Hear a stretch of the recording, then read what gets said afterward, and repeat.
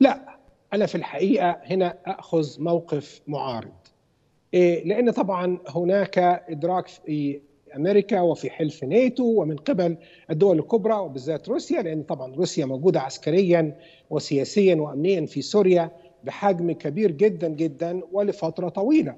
كلهم بيتفهموا طبيعة وضرورة سرية التقارير والعمليات العسكرية. كمان المشهد الأمني في كل أنحاء الوطن العربي أيضا يفرض عوامل الكتمان. يعني مثلا هناك تنظيمات جهادية في شبه جزيرة سيناء والجيش المصري بيقاومها بشراسة.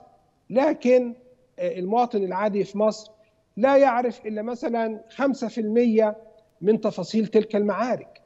هناك أيضا ميليشيات مسلحة ومرتزقة أجانب في ليبيا.